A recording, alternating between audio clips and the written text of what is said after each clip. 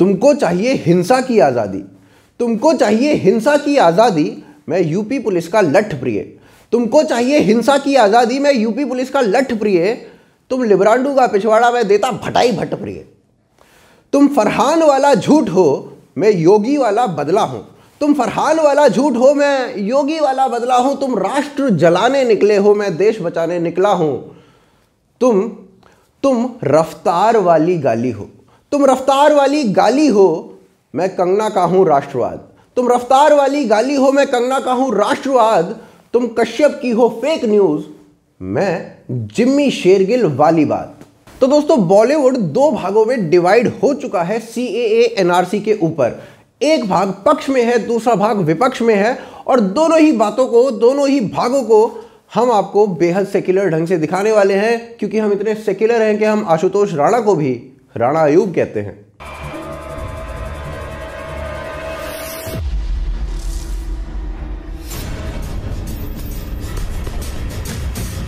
तो दोस्तों, शुरू करते हैं रफ्तार से। रफ्तार भाई साहब अपने शो के शुरू होने से पहले कुछ इस तरीके से स्टेज पर पेश आए। इस इस इंसान का नाम है अरशन ये मेरा ऐसा ख्याल रखता है कि कोई मेरे को धक्का भी नहीं मार सकता। अगर इसको कोई देश से निकालने की बात करेगा ना तो सामने गोली खाऊँगा, बहन की।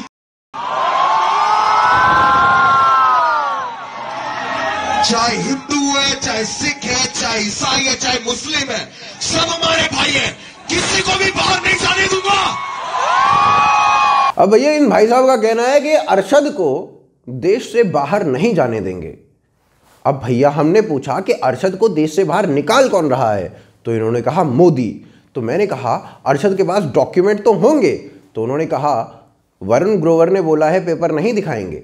अब दोस्तों, देखा जाए तो ये वही रफ्तार हैं जिन्होंने अपनी सिक्योरिटी को, यानी कि अरशद को नौकरी तब दी होगी जब दुनिया भर के पेपर देखे होंगे। दुनिया भर के पेपर देखने के बाद, डॉक्यूमेंट देखने के बाद नौकरी देने वाले रफ्तार कह रहे हैं कि भाई मैं इसको देश से बाहर नहीं जाने दूँगा क्योंकि ये पेपर नहीं दिखाएगा। वहीं दुनिया भर को पेपर नहीं दिखाने का पाठ पढ़ाने वाले वरुण ग्रोवर खुद अपने कॉन्सर्ट के लिए लिखते हैं कि भाई, ऐसा है। अपने आईडी प्रूफ्स और डॉक्यूमेंट्स लेकर आना, तभी आपकी एंट्री होगी हमारे शो के लिए। आप किसी को घर में मेड भी रखते हैं तो भी उसकी पुलिस वेरिफिकेशन कराते हैं डॉक्यूमेंट्स पुलिस को दिखवाते हैं। वहीं इस देश में कोई रहना चाहे तो उसको डॉक्यूमेंट्स दिखाने से मना करते हैं। आपको अपने घर में तो चोरी, चकारी, डकैती होने का खतरा है, लेकिन इस देश में चाहे टेररिस्ट अटैक हो जाए, आपकी वजह से क्या फ़र्क पड़ता है? फिर भैया आते हैं अनुराग कश्यप। 1300 करोड़ भारत की जनसंख्या बताने वाले अनुराग कश्यप अब कह रहे हैं कि मोदी हिटलर है। और मोदी हिटलर है का ये प्रूफ भी देते हैं। और प्रूफ क्या होता है? प्रूफ होता है हिटलर की एक स्पीच और कहते हैं कि ये स्पीच हिटलर की सुनिए और एक स्पीच मोदी की सुनिए। दोनों ने सेम ही स्पीच दी है। हिटलर ने अपने ज़माने में कहा था कि भाई, अगर मुझे नफरत करनी है तो कर लो। अगर मेरी एफिगी जलानी है, मेरे पुतले जलाने हैं तो जला लो। मगर जर्मनी से नफरत मत करो। जर्मनी को मत जलाओ। उसी तरीके से बिल्कुल नरेंद्र मोदी ने भी कहा है कि मुझसे नफरत कर लो, मेरे पुतले जला लो, पर भारत को मत जलाओ। वीडियो दोस्तों जर्मन लैंग्वेज में होती है और जो हमारे भाई साहब हैं, वो कहते हैं कि सब में देखो सब में वही लिखा है जो मोदी ने कहा है। और दोस्तों, ये जो सब होते हैं ना, ये गलत होते हैं। यहीं से वो पकड़ा जाता है। अब दोस्तों मारिया वर्थ मारिया वर्थ जो कि जर्मनी से आती हैं और हिंदू कल्चर से वो इतनी प्रभावित होती हैं कि वो भारत में रह जाती हैं, हिंदू कल्चर पे अपना थीसिस करती हैं, पढ़ाई करती हैं। तो मारिया वर्थ कहती हैं कि भैया, ये जो वीडियो अनुराग कश्यप तूने शेयर की है ना इसमें ट्रांसलेशन गलत है। इसने, यानी कि हिटलर ने जो एक्चुअली बोला है, उसकी सही ट्रांसलेशन ये बनती है कि इन लोगों के बीच में बार बार जाओ और जिसको भी मदद की ज़रूरत है उसको मदद दो। अब अनुराग कश्यप एक्सपोज होने के बाद भाई साहब कहते हैं कि हाँ भाई, वो जो सब थे वो गलत थे और इसलिए मैं उस ट्वीट को और उस वीडियो को डिलीट कर रहा हूँ। लेकिन मैं माफ़ी नहीं मांगूँगा क्योंकि ऑप इंडिया ने भी माफ़ी नहीं मांगी थी। दोस्तों, ये जो स्पीच अनुराग कश्यप भाई साहब ने दिखाई, ये थी उन्नीस सौ सैंतीस की। और उन्नीस की स्पीच का ये जो पूरा हिस्सा है, ये अंग्रेज़ी में ट्रांसलेटेड यहाँ पर है। मैं आपको स्क्रीन पर दिखा रहा हूँ। पॉज करके इसको आराम से पढ़िए और देखिए कि भाई अनुराग कश्यप ने कितना बड़ा झूठ बोला था। और बाकी इसके ऊपर और फर्दर डिटेल चाहिए तो मैं एक लिंक और दे रहा हूँ डिस्क्रिप्शन के अंदर। उसको जाकर क्लिक किए, पढ़िए आराम से। दोस्तों, ये कोई पहला मौका ऐसा नहीं था जब मोदी को हिटलर से इक्वेट करने की नाकामयाब कोशिश की थी हमारे सेक्युलर चेहरों ने। तो हमारे सेक्युलर चेहरों का एक ये सेक्युलर चेहरा तो बेनकाब हो गया, पर इससे पहले 2018 में नरेंद्र मोदी ने जब ये कहा था कि भाई मैं तो फकीर हूँ और देश की सेवा करने के लिए ही मैं पॉलिटिक्स में आया हूँ तो इसके बाद भी नरेंद्र मोदी की स्पीच को हिटलर की एक दूसरी स्पीच से इक्वेट करने की कोशिश की थी। उसमें भी यही खेल खेला गया था कि भाई देखिए सबटाइटल देखिए। सबटाइटल में हिटलर ने भी यही बोला है कि मैं देश की सेवा करने के लिए आया हूँ, सब कुछ छोड़ छाड़ के। जबकि उस वीडियो के भी भैया सब टाइटल कतई गलत थे।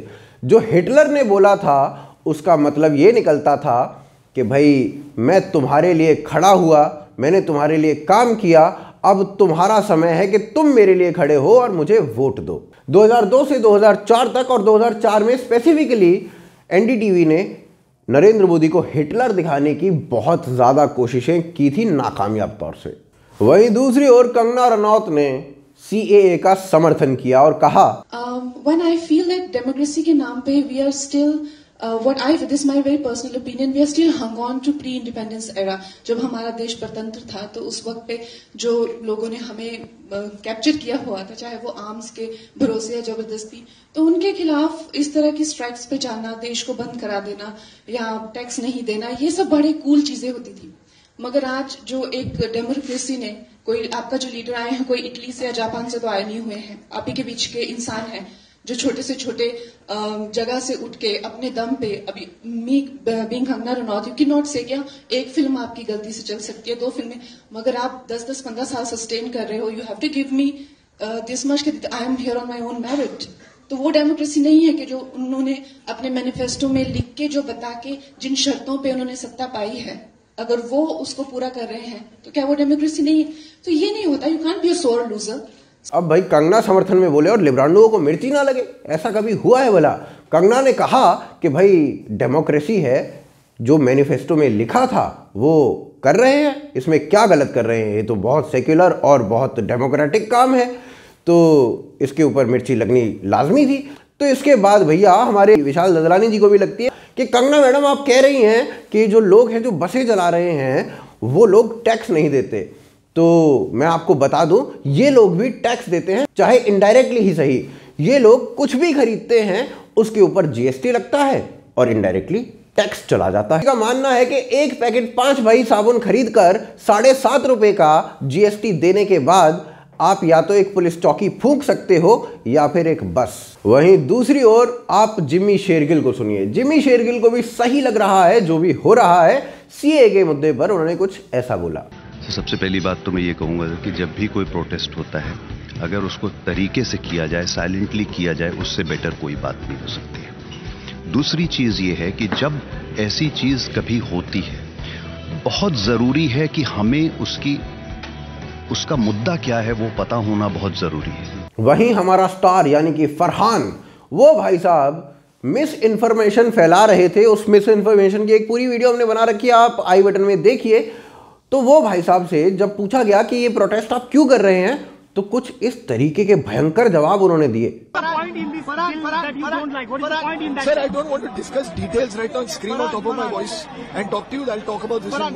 अमित शाह का कहना है कि जो लोग इंडिया में रह रहे हैं उनको तकलीफ़ नहीं होगी चाहे वो कोई भी काम तो फिर प्रोटेस्ट किस बात तो फिर सर आप घर चले जाइए आप क्यों आके कवर कर रहे हैं जो ऑलरेडी इंडिया में रह रहे हैं उनको कोई तकलीफ़ नहीं होगी।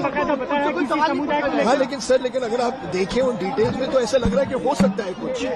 ऐसा लगता है ना भी हो सकता है। मतलब अगर आप पढ़े भी करके देखा उसमें तो it's a possibility and people here I may I why would so many people be concern if everything was okay why would so many people be concern not just in Mumbai in Assam in Delhi in Bangalore in Hyderabad why are people और अधिकांश बॉलीवुड के लोग इस मुद्दे के ऊपर अपनी राय तो रखते हैं, पर उस राय को मीडिया के सामने नहीं रखना चाहते।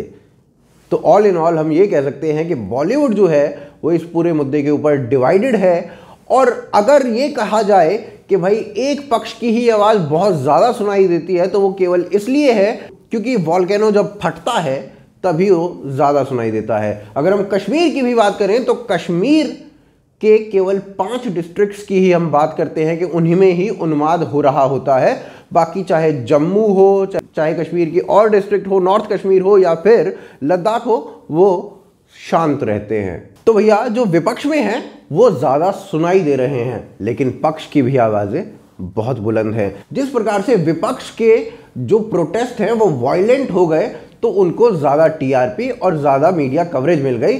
और पक्ष वाले जो आंदोलन थे वो बेहद शांत रूप से थे, जबकि उनमें भी बहुत पब्लिक आई थी, पर उनको इतनी टीआरपी और उनको इतनी माइलेज मीडिया ने नहीं दी। तो दोस्तों, उम्मीद करते हैं आपको ये वीडियो पसंद आई होगी, और जो लोग ये सोचते हैं कि भाई, इतने सारे सेलिब्रिटीज खड़े हो गए हैं इसके विपक्ष में तो ज़रूर इसमें कुछ गलत होगा।